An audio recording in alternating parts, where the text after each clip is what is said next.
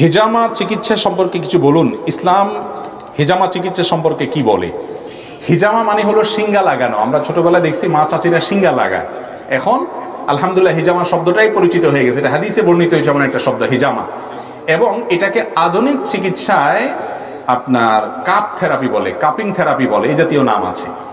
এই হিজামাটা সুন্নত এবং বিলুপ্ত হওয়া সুন্নত।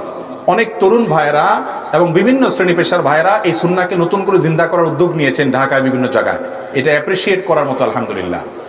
মনে রাখবেন, নবী করিম সাল্লা সাল্লাম বুখারি বর্ণিত হাদিসে বলেছেন, তিনটি কাজের মাধ্যমে মানুষ চিকিৎসা গ্রহণ করে থাকে। এর মধ্যে একটা তিনি নিষেধ করেছেন, সেটা হলো যে আপনার লোহা তাতায়া গরম করে তারপরে গায়ে সেক দেওয়া। গরু টরুকে আগে দিত। নবী সাল্লাহ এটা নিষেধ করেছেন। আর মধু এবং হিজামা, সিঙ্গা লাগায়া শরীরে যে দূষিত রক্ত আছে সিঙ্গার মাধ্যমে, কাপিং থেরাপির মাধ্যমে, কাপ থেরাপির মাধ্যমে সেই দূষিত রক্তগুলো বের করে ফেলে চিকিৎসা করা। এইটার ব্যাপারে তিনি বলেছেন এর মধ্যে আরোগ্য আছে।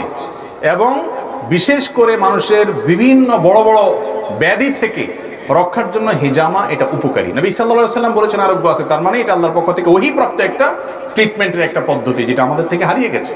তবে হ্যাঁ এই কাপ থেরাপি যা দেওয়ার ক্ষেত্রে, হেজামা করার ক্ষেত্রে ভালো, দক্ষ মানুষ যদি না হয় তাহলে উল্টাপাল্টা করার কারণে অনেক সময় অসুস্থ হতে পারে ইনফেকশন হতে পারে, জ্বর হতে পারে, ছোটোখাটো অসুবিধা হয়, বড় কোনো অসুবিধা হয় না। কিন্তু অভিজ্ঞ কেউ করলে সেগুলো হয় না। কিন্তু এটা সুন্নত, গুরুত্বপূর্ণ সুন্নত। এবং সই মুসলিম হাদিসে নবী করিম সাল্লাহ আলি সাল্লাম হিজামা সম্পর্কে বলেছেন, তোমরা যত পদ্ধতিতে ট্রিটমেন্ট গ্রহণ করে থাকো, এর মধ্যে থেকে হিজামা একটা উত্তম পদ্ধতির চিকিৎসা। এবং নবী সাল্লাহ সাল্লাম নিজে হিজামা গ্রহণ করেছেন সিঙ্গা নিয়েছেন।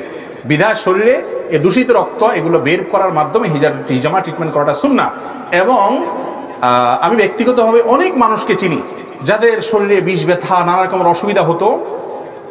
এদেরকে হিজামা করার পরামর্শ দিয়েছি, হিজামা করেছেন, তারা সুস্থ হয়েছেন। এবং আর অনেক মানুষ আমার জানাশোনা আছে, আলহামদুলিল্লাহ।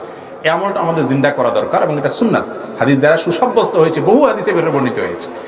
এবং এই ক্ষেত্রে বিশেষ করে যাদের জাদুগ্রস্ত, জাদুর কারণে শরীরে অনেক সময় দূষিত রক্ত হয়ে যায়, দুষ্ট জিন, শয়তানের প্রভাবে অনেক সময় হয়, এগুলো হিজামার মাধ্যমে যখন বের করে ফেলা হয় মানুষ সুস্থ ফিল করে।